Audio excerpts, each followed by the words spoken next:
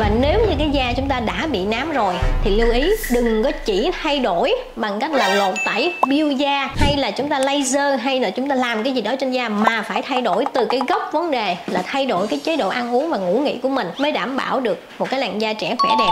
Ngày hôm nay cũng muốn chia sẻ với tất cả các bạn ở đây cái cách mà chúng ta ngừa nám tuổi trung niên. Đây là một cái câu hỏi khá là hay, cho nên dành ra để trả lời với mọi người. Đầu tiên nhất câu hỏi mang tính chất chủ động, tức là chúng ta quan tâm đến cái làn da khi mà chưa bị nám. Đó là một cái điều tuyệt vời. Thông thường chúng ta đợi là chúng ta sinh cái vết nám rồi thì chúng ta mới bắt đầu đi điều trị. Thực tế là nám không phải là ngày một, ngày hai đã hình thành, mà đã hình thành từ rất là lâu. Trước đó nó có một cái sự mất cân bằng mà chúng ta không chịu điều chỉnh. Đến khi mà sinh cái vết nám ra thì chúng ta mới bắt đầu cuốn cuồng lên để đi trị nám. Các bạn biết rằng cái da mà bị nám là cái da đang bị yếu. Yếu có thể rằng á, là tác động môi trường phía bên ngoài cái da không đủ khả năng chống chọi hoặc nội tiết tố bên trong chúng ta bị mất cân bằng bị rối loạn cho nên mới sinh nám. Thì chung quy lại là yếu cho nên phải làm cái khỏe, cái bên trong trước, khỏe cái làn da của mình và khỏe cái sức khỏe bên trong của mình. Điều chỉnh, song hành với việc là xử lý và điều trị nám thì như vậy mang lại cái hiệu quả mới cao.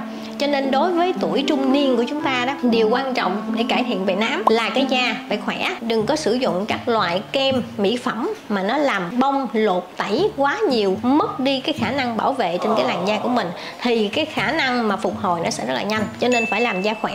Cái yếu tố thứ hai đó chính là nội tiết phía bên trong, người phụ nữ tuổi trung niên thì sẽ rất là dễ bị rối loạn nội tiết tố. Họ có thể là tiền mãn kinh, bốc hỏa, hoặc là họ có thể là một cái cơ quan chức năng nào đó bên trong, ví dụ như phổi. Phổi yếu, lạnh phổi đi, thì hai cái vùng phía bên đây nó vẫn nám. Các bạn có thấy những người phụ nữ mà nám phía bên ngoài này không ạ? À? thì những cái người này có khả năng là họ bị lạnh phổi, hoặc là cái vùng gan, hoặc là cái vùng bao tử gì đó. Thì có hai điều, một là nội tiết tố người phụ nữ, thứ hai là cái cơ quan phía bên trong chúng ta bị mất cân bằng, thì nó cũng sẽ dễ sinh lên. Cho nên giữ cho mình có một cái sức khỏe tốt là cái điều quan trọng để mà chúng ta ngừa nám tuổi trung niên. Bạn phải cân bằng các yếu tố này thông qua cái đường ăn uống thông qua thể dục, nghỉ ngơi, thông qua cái việc mà chúng ta lắng nghe từng cái biểu hiện nhỏ trong cơ thể có vấn đề, điều chỉnh ngay, đừng có đợi là hành mãn tính lâu dài thì rất là khó để xử lý. Ví dụ như cảm, đừng có để cảm kéo dài, hành sinh ra làm bị bệnh hàn thì mệt tim hoặc là khó chịu những cái vùng cơ quan khác mà cảm để để cho nó dứt cảm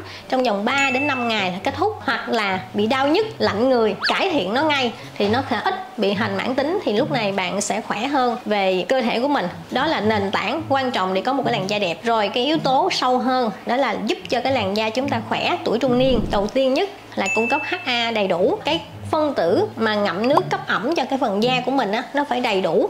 Thì lúc này cái da của bạn mới khỏe được. Yếu tố thứ hai, đó là bạn cần bổ sung collagen vào trong cơ thể của mình. Để collagen nó sẽ bù đắp về cái phần mà bị hao hụt mất đi. Cho nên ăn những cái thức ăn mà cung cấp thêm để bổ sung collagen cho mình nè. Rồi, bạn phải làm sao ạ? à? Chống nắng hiệu quả cho làn da. Chống nắng ở đây không phải lúc nào bạn cũng khư khư bạn thoa kem chống nắng cho dày hết cái da. Nó không phải như vậy. Tăng cái khả năng chống chọi bằng cách là bạn thoa những cái sản phẩm để mà bảo vệ da rồi.